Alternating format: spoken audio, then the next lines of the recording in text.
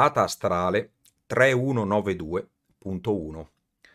La USS Enterprise si sta dirigendo verso l'ammasso stellare NGC 321 per dare il via a relazioni diplomatiche con la civiltà qui ospitata. Dopo diversi avvisi a vuoto giunge un messaggio dal pianeta Eminiar 7, il principale corpo celeste dell'ammasso. Un avviso che impone però di mantenersi distanti a ogni costo. L'ambasciatore Robert Fox, a bordo per instaurare rapporti diplomatici, esige invece che si porti la nave in orbita intorno al pianeta. Un episodio che io ho visto anche poco tempo fa, ma mi rivedo volentieri, che mi è piaciuto. Una guerra incredibile. Eh sì, mm, è abbastanza è uno di quegli episodi che non perde mordente con gli anni, perché purtroppo eh, guerre ce ne sono sempre, quindi la, la metafora, l'allegoria eh, di una guerra pulita non, non è male, insomma, va avanti. Sì, anche a me è un episodio che è sempre, sempre piaciuto molto questo.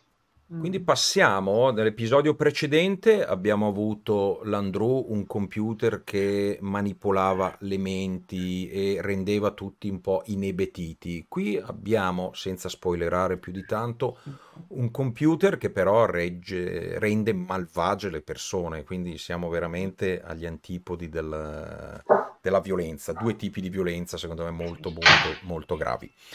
Ci guardiamo l'episodio, dopodiché lo commentiamo insieme. A fra poco.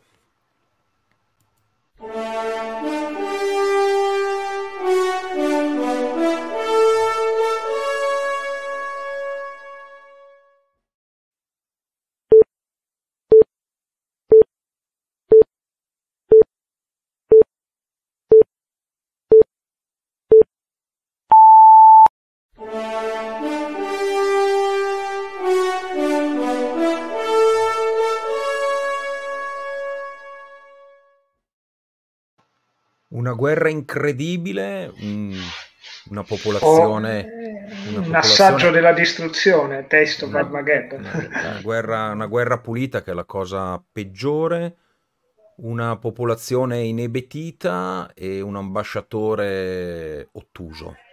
Ci sono gli elementi. allora, un, un ambasciatore ottuso, sì, sono d'accordo assolutamente. Una, beh, un pianeta di, di persone inebetite invece no. Secondo me eh, da quello che insomma traspare nell'episodio, sono persone che per 500 anni sono vissute in pace, quindi non è proprio la stessa cosa di, eh, che abbiamo visto nell'episodio precedente. E qui è una quiete vera, tra virgolette, nel senso è una quiete, magari ci saranno i litigi condominiali, ma non c'è la guerra e la sporcizia, tra virgolette, della guerra è Però un una guerra che va avanti da 500 anni, da 1 a 3 milioni all'anno di morti. Adesso facciamo il conto con che popolazione, cioè, non, so, non, si riesce nemmeno a contarlo, non so come si eh, possono riprodurre così. Tempo, insomma, da, eh, su, su Mia 7 non, non si producono molto in fretta. e comunque una popolazione con un fortissimo senso civile, cioè loro fanno il loro dovere, sacrificano la propria vita eh, per mantenere, per, per, far sì che la società possa, possa progredire, insomma. Eh, sono diciamo equiparabili a un esercito, no? a, a, dei soldati che pur eh, sono pronti a dare la propria vita per il bene comune. E per cui sì, è una metafora potente questa, insomma, un messaggio, un messaggio forte di questo episodio. Eh, certo, appunto, è una metafora per cui insomma, molti, molti aspetti sono semplificati, però insomma funziona. sì, tra l'altro gli abitanti entrano in questi disgregatori molto tranquillamente, come se andassero al supermercato a fare la spesa, si salutano come vabbè, fai un viaggio in treno, poi tornerai invece. Anche se negli occhi di Mea 3, questa attrice Barbara Babcock, qualcosa del genere, si chiama, che troveremo anche in Umiliati mm. for di, forza da Forza maggiore. maggiore, per Forza Maggiore, eh, mi pare di scorgere una certa tristezza, ancora prima di sapere che eh, sarebbe stata poi tra le vittime. No, è solo una mia impressione. Non avete notato qualche una certa tristezza Beh, allora, l'unica cosa che io contesto tra virgolette di questo episodio è che non viene approfondita, ma non ce ne sarebbe stato il tempo, eh, la concezione che hanno questi abitanti della morte, cioè magari sono convinti per, da generazioni che comunque sia solo un passaggio e magari appunto, come dici tu, sto prendendo il treno per la prossima vita e ci rivediamo là. Eh, quindi può esserci una tristezza, ma secondo me non è, non è proprio la stessa cosa, insomma, che, di, di, quella che po- potremmo provare noi, ecco, Beh, sicuramente. Sicuramente, decisamente mm una cosa abbastanza surreale. Mm, sfondi bellissimi. Sì, ehm, su questo poi insomma vi farò vedere anche delle immagini particolari. Eh, questi sono insomma i matte painting della serie originale che, che io amo molto. Eh, nell'arco di tutta la serie ne sono state realizzate solo, solo quattro, eh, però hanno lasciato il segno. Sì, quello è appunto Anansette. Questi eh, sono appunto le guardie eh, che ricordano vagamente il, i costumi da, che si vedranno dopo dai capellani, ma sono, eh sì, sono un po' diversi. Insomma, posso dire sì. perché conosco molto a fondo il costume da, da capellani. Un giorno ce lo racconterai. Mea 3, questa, con il suo sguardo. Mea 3, ma è chiaro che secondo me l'hanno voluto comunque infondere, e l'attrice è stata brava a recepirlo, un, una, un senso di appunto eh, rassegnazione, se vogliamo, a quella che comunque è una situazione di, di, guerra, insomma, una situazione in cui ha perso tanti amici, tanti parenti, insomma, però una guerra pulita, come, come abbiamo già avuto modo di dire. Mm, nella, nell'episodio precedente, il ritorno degli Arconti, abbiamo incontrato per la prima volta la prima direttiva e ci siamo chiesti se eh, Kirk avesse così raggirato la prima direttiva, infranto la prima direttiva nell'episodio precedente. Anche in questo episodio lui ci mette mano e la domanda che vi pongo nuovamente ha infranto la prima direttiva. Dopotutto questa era una società che evoluta, che evolveva e avevano scelto liberamente di fare questa cosa. Ha infranto la prima direttiva? Eh, allora, ehm, mettiamo i puntini su lei. Allora, secondo me sì, nel senso se vogliamo la non interferenza in una civiltà, eh, sì, la, ha interferito e anche pesantemente e tra l'altro sull'onda di un'intuizione, neanche di una certezza, perché lui, lui stesso lo dice alla fine. Eh, io avevo la, la, la, sensazione che piuttosto che vivere una guerra vera avrebbero fatto la pace, ok? È un po' tanto per, per rischiare sì. una cosa cosa del genere. Però in realtà la prima direttiva, per come si è evoluta poi, perché non, a questo punto ancora non era ben delineata, è una non interferenza in, su pianeti che non hanno eh, diciamo la capacità o la conoscenza di altri mondi, di altre civiltà, mentre invece è, evidentemente sia Emilia che eh, hanno sicuramente conoscono altri pianeti perché si conoscono a vicenda prima di tutto e poi sanno benissimo ok state lontani, siete delle astronavi, non è che si stupiscono di vedere un'astronave. No, ma infatti l'Enterprise era lì per stabilire rapporti diplomatici, esatto. quindi era una popolazione che aveva raggiunto raggiunto lo spazio. Per cui uh-huh. a, a, rigore la prima direttiva non, non si apre. Ma infatti il, il, bello è proprio questo, che alla fine eh, si trovano sempre una scappatoia per far sì quello, eh, per appunto aggirare questa prima direttiva che ancora una volta, esattamente come nell'episodio precedente, il meccanismo è lo stesso, cioè eh, è un po' il messaggio che, come dire, gli assoluti non possono essere sempre corretti, insomma, un messaggio che poi passerà anche in The Next Generation. È chiaro che in questo caso è, è, è, è una società assurda, paradossale, no? È una società sbagliata, una società che condanna a morte arbitrariamente i propri abitanti e quindi più o meno siamo tutti d'accordo con Kirk e siamo tutti sollevati nel sapere che poi alla fine hanno, hanno fatto la pace, insomma. E è una metafora, come abbiamo detto. Però sì, alla fine ovviamente eh, Kirk ha interferito, a fin di bene, ma ha interferito, insomma, e, e se l'è rischiata. Quindi c'è qualcosina, qualcosina fatto. Sono in guerra col pianeta Vendicar nel nell'ultimo attacco dove finisce dentro anche l'Enterprise 500 milioni di morti addirittura. Tra cui tutto l'equipaggio dell'Enterprise anche Mea 3 io non, non sono mai riuscito a capire Mea 3 si trovava nella sala del consiglio come potesse essere stata anche lei presa dentro. Ora, ma, ma, credo che semplicemente il computer scegliesse a caso o comunque ah, scegliesse, sì, nel senso facesse una, una, scelta non deliberata ma casuale di cittadini, insomma, anche perché effettivamente sì, c'è tutto quel bel display di dire ok, abbiamo bombardato la città, eccetera, e quindi noi siamo proprio tra i detriti virtuali, ma tra i detriti. Questo, questo è terribile quello che stai dicendo, eh, Gabriella, veramente terribile perché quindi chiunque può finirci dentro magari esatto, al mare esatto. e dice no, guarda che sei stato dichiarato morto, esatto, presentati. Esatto veramente, veramente Ma infatti è l'esagerazione del, de, de, della metafora, cioè è chiaro che funziona soltanto se te la, te la, presenta come un pugno nello stomaco la cosa, perché altrimenti non ci credi, insomma. Sì, sì.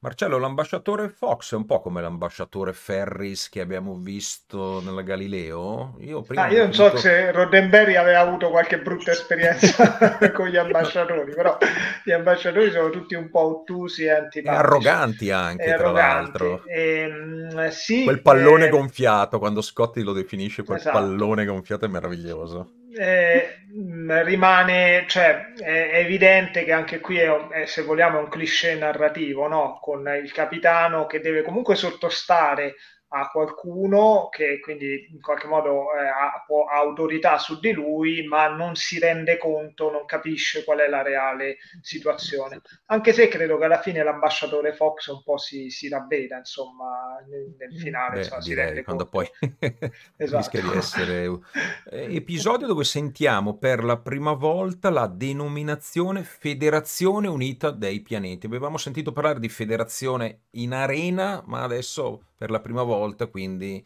eh, sentiamo parlare di questa federazione unita dei, dei, pianeti che poi ci accompagnerà per tutti, per tutti gli episodi. Scopriamo anche un'altra cosa importante, che i vulcaniani hanno una capacità telepatica, giusto? Che poi vedremo anche in un altro episodio, se non ricordo male, con, con qualsiasi, qualsiasi nome. nome con qualsiasi sì, nome. secondo me quello, quello, secondo me è un momento un po' debole dell'episodio, nel senso, ok, che i vulcaniani abbiano capacità telepatiche ormai è un dato assodato nell'universo di Star Trek, che però possano usare queste capacità telepatiche come fa Spock essenzialmente per, eh, non so, ipnotizzare, cioè indurre una persona a distanza, secondo me è una classica soluzione no, in cui è, Spock in qualche modo è il deus ex machina che grazie ai suoi superpoteri eh, salva, salva, la squadra in questo caso.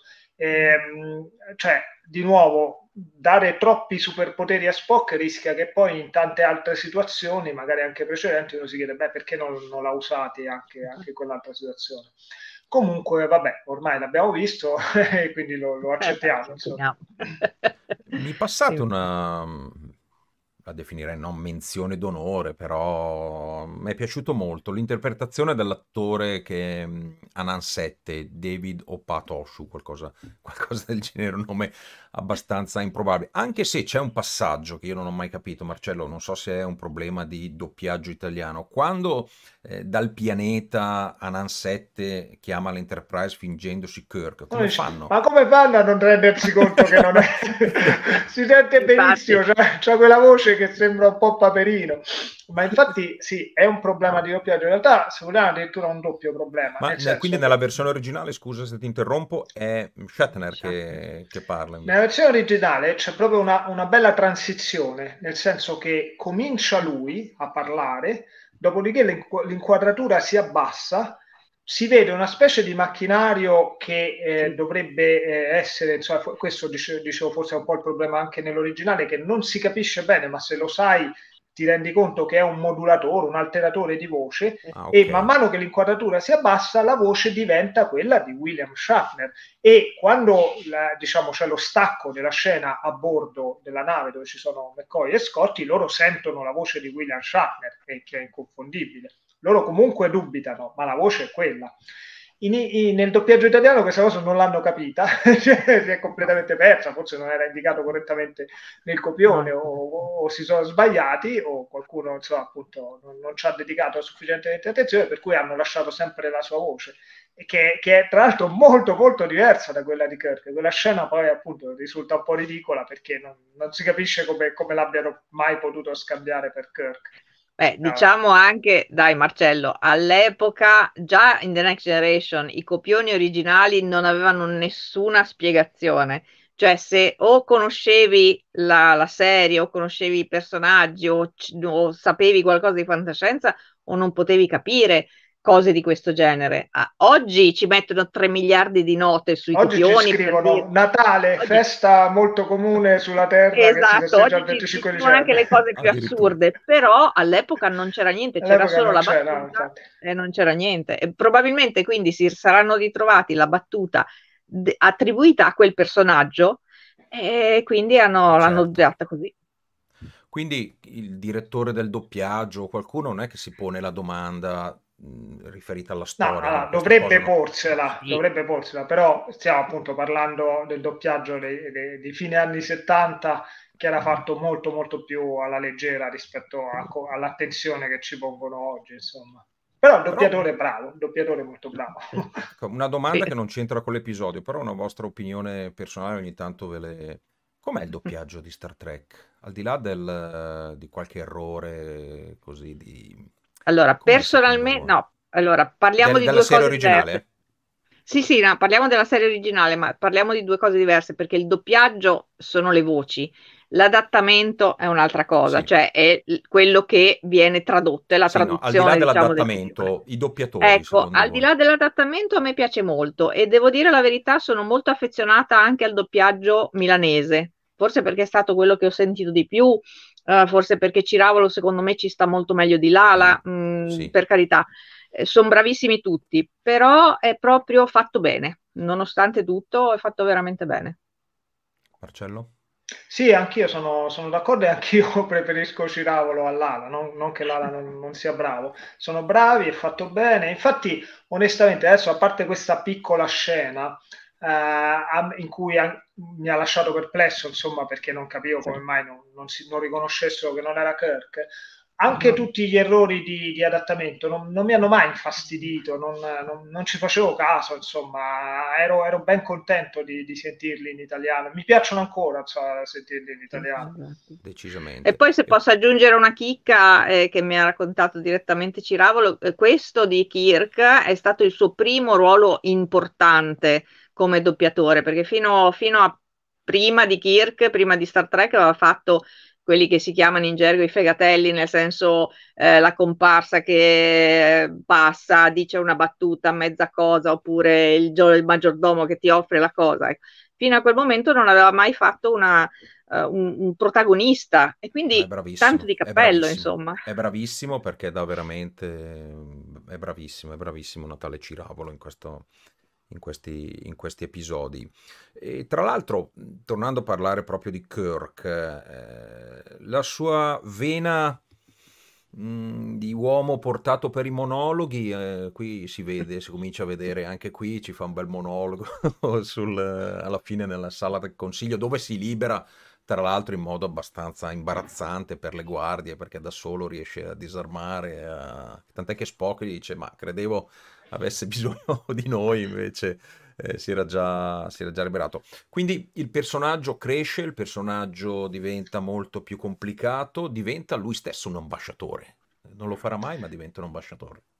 Beh, ma eh, ci sta nel senso che in un episodio che è così simbolico, così metaforico, è chiaro che il, il monologo in cui viene eh, fatto capire qual è il punto, qual è, quali sono le ragioni dalla parte di Kirk, eh, è, un, è, un, momento importante, insomma.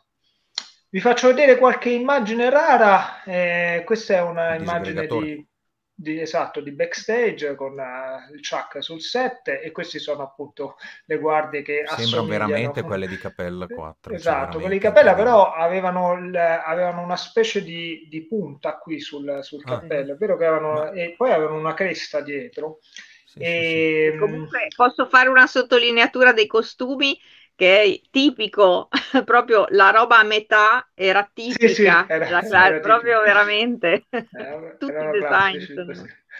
E, um, qui Eccolo appunto qua. un'altra immagine di, col Chuck e veniamo al, al, bellissimo matte painting di, eh, di questo episodio. Questa è la scena girata appunto senza il matte painting, la scena quella girata dal vivo che poi veniva sovrapposta. Si vede proprio, si vede il punto di taglio, insomma, dove eh, finisce la scena dal vivo e ovviamente il muro che c'è dietro non è casuale, insomma, era messo lì apposta per, per facilitare il, il, taglio. Tra l'altro il muro che c'è dietro è lo stesso che avevamo già visto sull'ammutinamento, però cambiava, come vedete, la, la scultura. Eh, mm. Qui c'è una specie di roccia, mentre lì era una cosa più con delle punte, insomma, però il muro era lo stesso, che era perfetto perché era un muro che già, già di suo aveva dei tagli, per cui vedere un taglio sopra quei mattoni non, non dà fastidio.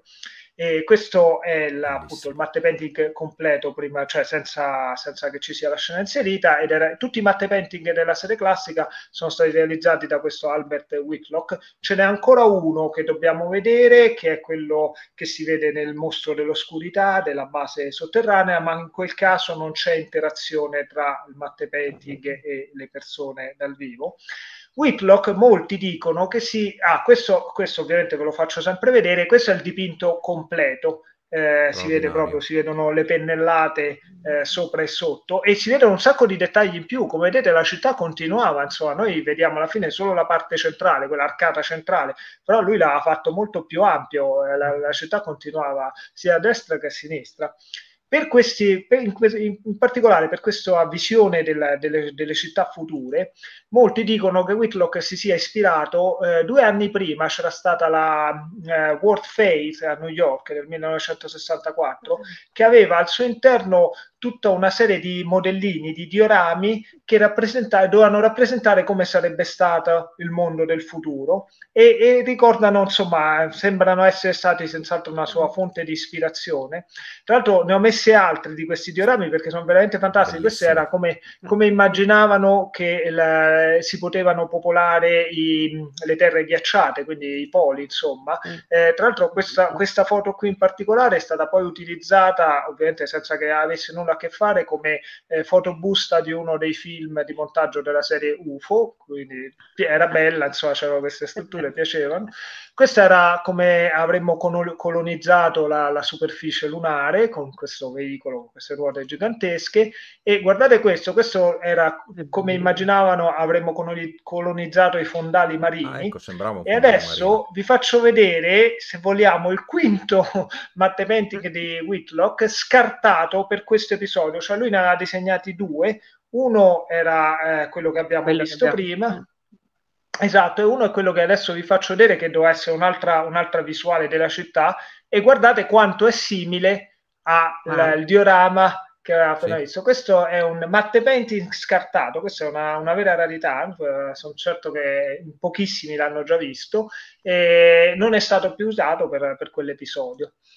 Questo è il confronto con gli effetti eh, rifatti della versione remastered? E per eh, questo episodio hanno completamente ricostruito in digitale tutto il matte painting originale, chiaramente insomma un po' sistemando, c'erano i problemi di prospettiva, insomma cose così, però è stato ricostruito in maniera abbastanza fedele, vedete il confronto a sinistra quello originale, a destra quello rifatto in, in digitale. E, e basta, e questo insomma è la, appunto l'ultimo matte painting che vediamo con interazione degli attori. Comunque un episodio, quindi tutto sommato, da quello che capisco, che è piaciuto, piace, eh, viene rivisto, rivisto piacevolmente.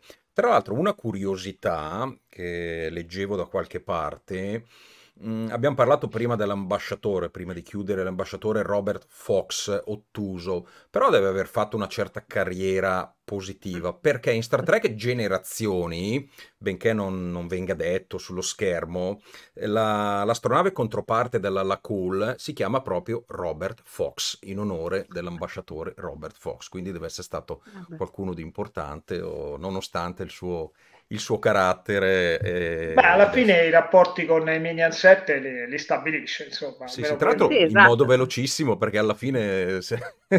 salgono a bordo già... Esatto, e poi sono... ti offre anche di far fare la pace ai due pianeti, quindi dai, alla fine ha fatto quindi, il suo diciamo, lavoro. Per lui, esatto, è stato un successo. Si è meritato, si è meritato il nome di un'astronave. Marcello, Gabriella, appuntamento al prossimo Track Files. Ciao a tutti. Ciao. Ciao.